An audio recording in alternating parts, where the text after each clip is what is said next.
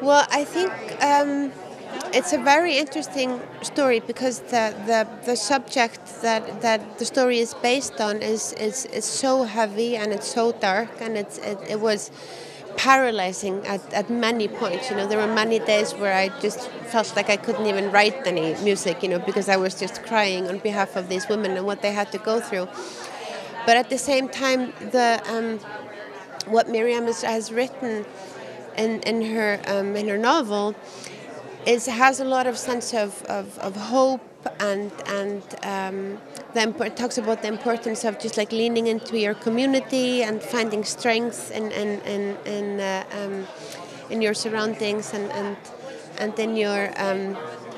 in your family, you know, in your in your in your friends, and and I think that's something that's also not just for women, you know, that the importance for women to do that, and, and in our our continuous efforts to to move move forward. Um, I think it's also just important for people today because I think we're we're just going in a direction where everyone is getting a bit more lonely and, and, and isolated and, and we're kind of forgetting the importance of, of, of community and and, uh, and I hope that the film kind of touches touches those feelings that, that you get a sense of need to, to reach out to your to your people. Can you talk about finding the right musical accompaniment to that? Mm, yeah, yeah, yeah. That was the tricky point for me because,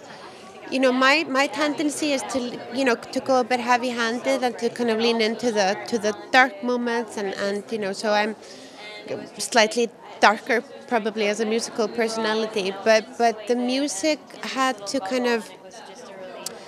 do this dance of, of, of like raising the level of optimism, you know, and the, the level of hope and that sense of forward movement, you know, and not not getting like too too um,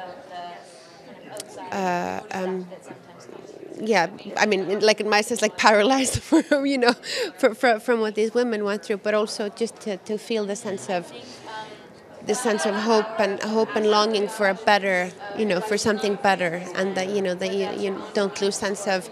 even despite what you're going through, you can you, there's a way out, you know, and, and the music was kind of leading that way, the, the way out, and, and for me it was the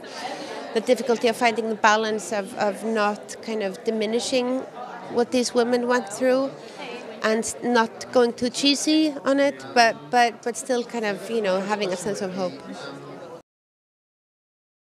and in terms of remarkable women, remarkable storytellers, can you talk about Sarah and what makes her both of those things? Yeah, yeah, Sarah is just so phenomenal. She is absolutely magnificent because she's her in her activism. She's so she's so fearlessly open and so fearlessly soft, you know, which is so cool because it doesn't you know she she really shows us that you know being soft and open is not a weakness but a strength you know and i just i think it's so fantastic to to see what she's been writing and, and you know her her her book and and her and her just her articles and, and just the way that she is is, is just really inspiring you know and I, th- I think I think the world needs more of that. You know, not not women stepping forward trying to be men, but women that are just